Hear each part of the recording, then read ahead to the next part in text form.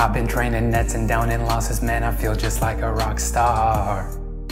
Hello world, it's Siraj, and loss functions are a crucial part of the machine learning pipeline, but knowing which one to use can be kind of confusing. I'll explain how and when to use six popular loss functions by using two examples, a music genre classifier and a budgeting app for hospitals. The process of learning from data to find a solution to a question is machine learning. Ideally, the dataset we find has labels, making it a supervised problem. The learning process is all about using the training data to produce a predictor function. This is a function that takes inputs x and tries to map them to labels y. We want the predictor to approximately work even for examples that it hasn't yet seen before in the training data. That is, we want it to be as generalized as possible. And because we want it to be general, this forces us to design it in a principled mathematical way, which would delight 3Blue1Brown. For each data point x, we start computing a series of operations on it. Whatever operations our model requires to produce a predicted output, we then compare that predicted output to the actual output to produce an error value, and that error is what we minimize during the learning process using an optimization strategy like gradient descent. The way we're actually computing that error value is by using a loss function. It quantifies how wrong we'd be if we use the model to make a prediction on x when the correct output is y. We're trying to minimize it. Unfortunately, there is no universal loss function that works for all kinds of data. It depends on a lot of factors like the presence of outliers, uh, the choice of machine learning algorithm, the time efficiency of gradient descent, and the confidence of predictions. The idea behind our loss functions originates from the mathematician Claude Shannon's information theory, which he proposed in 1948 like a boss. The goal is to reliably and efficiently transmit a message from a sender to a recipient. Digital messages are composed of bits, and bits either equal 0 or 1. Not all bits are useful though. Some can be redundant, so when we communicate a message, we want as many relevant bits to be sent as possible. In Shannon's theory, to transmit one bit of information means to reduce the recipient's uncertainty by a factor of two. For example, say that two teams are playing against each other in the World Cup with a 50-50 chance of either team winning. If a prediction service tells us that one team will win, they've reduced our uncertainty by a factor of two. There were two equally likely outcomes, now there's just one. The prediction service sent us a single bit of useful information. That bit could be a string, an image, it could consist of many bytes of data, but it can still be represented as one bit of useful information. Suppose there were eight possible teams that could win the World Cup, all equally likely. If the service tells us the likely team to win, they're dividing our uncertainty by a factor of eight which is 2 to the power 3. So they sent us three bits of useful information. We can compute the number of bits that were communicated by computing the binary logarithm of the uncertainty reduction factor, which is 8 in this example. Let's say though that the possibilities are not equally likely. Say one team has a 75% chance of winning and the other 25%. If the service says the less probable team will win, then the uncertainty has dropped by a factor of 4, which is 2 bits of information. The uncertainty reduction is the inverse of the event's probability. The log of 1 over x is equal to the negative log of x. So the equation to compute the number of bits comes out to minus the binary log of the probability 25%. We can compute the same for the other team. We can sum up these values to compute an average number of bits the service will tell us, and this is considered the entropy. It measures the average amount of information that we get from one sample drawn from a given probability distribution P. It tells us how unpredictable that probability distribution is. The more variation in the data, the larger the entropy. The cross entropy is the average message length. We can express this as a function of both the true probability distribution P and the predicted distribution Q. If our prediction is perfect, then the cross entropy is equal to the entropy. But if the distributions differ, then the cross entropy will be greater than the entropy by some number of bits.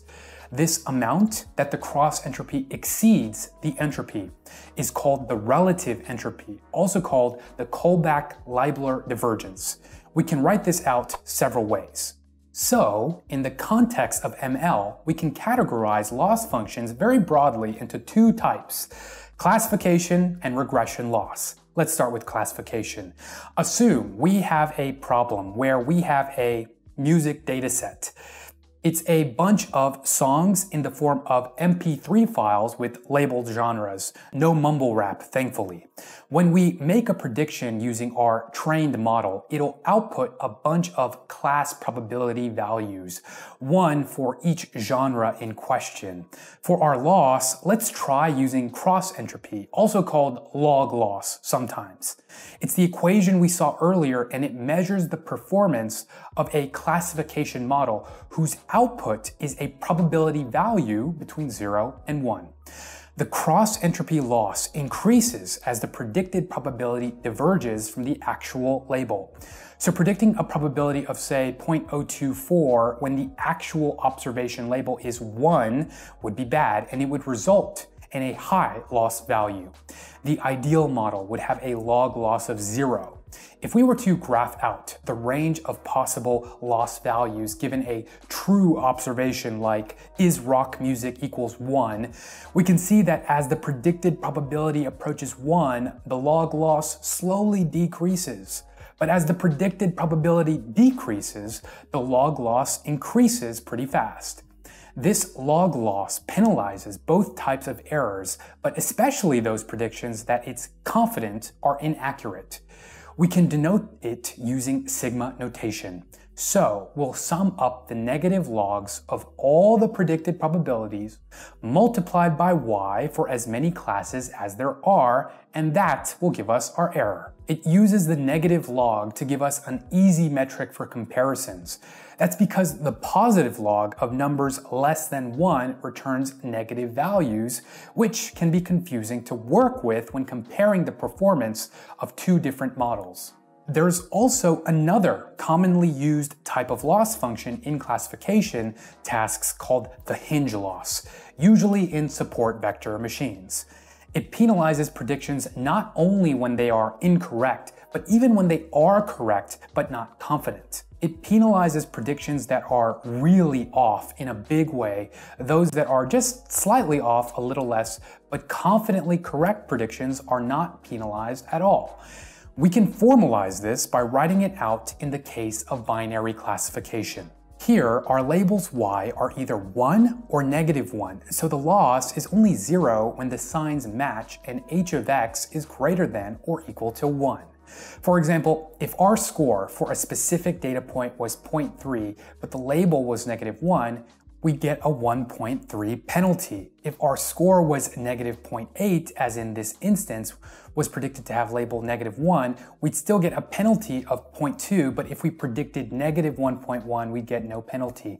Hinge loss is easier to compute than the cross entropy loss. It's faster to train via gradient descent since a lot of the time the gradient is zero, so you won't have to update the weights. If you need to make real-time decisions with lesser accuracy, depend on the hinge loss over cross entropy. But if accuracy over speed matters, go with cross entropy. It's a trade-off. The Kullback-Leibler divergence will still measure the difference between probability distributions P and Q, but the difference is that in information theory, it focuses on the extra number of bits needed to encode the data. That means when applied to our data, the KL divergence will never be less than zero. It is only equal to zero if P equals Q.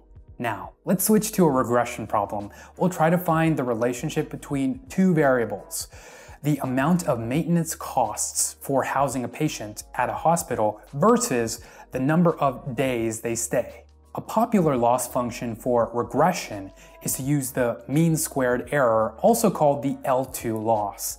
This measures the average amount that the model's predictions vary from the correct values. So we can think of it as a measure of the model's performance on the training set we calculate the difference between the predicted output and the actual output. Square it, do that for every data point, add them all up, then divide by the total number of them. The reason the square is in there is because it lets our result be quadratic or convex. When we plot a quadratic function, it'll have a U shape with only one minimum. So when we use an optimization strategy, like say gradient descent, we won't get stuck in a local minimum. We'll find the global minimum, which will ultimately help us find the ideal parameter values to optimize the objective function. Another popular loss function for regression is called the mean absolute error also called L1 loss. This measures the average magnitude of the errors in a set of predictions without considering their direction we take the average over the test sample of the absolute differences between our prediction and the actual output, where all individual differences have equal weight. In squared error, we are penalizing large deviations more, square a big number and it becomes much larger relative to the others which means that mean absolute error is more robust to outliers than mean squared error. So use it if you have a lot of anomalies in your dataset. MAE assigns equal weights to the data, whereas MSE emphasizes the extremes. The square of a very small number is even smaller, and the square of a really big number is huge. Lastly, a loss very similar to MAE is called the Huber loss. It's also less sensitive to outliers than the mean squared error. It's quadratic for small values and linear for large values. If we graph out all three of these regression loss functions, it will look something like this. So depending on if your problem is a regression problem or a classification problem, you can use one of several loss functions. Then you can pick a loss function that optimizes for either accuracy or speed. Hope this video was useful. I've got some great informational links for you in the video description. Check them out. It is a loss if you don't hit the subscribe button. I've got so much more where that came from. For now, I've got to upgrade TensorFlow, so thanks for watching.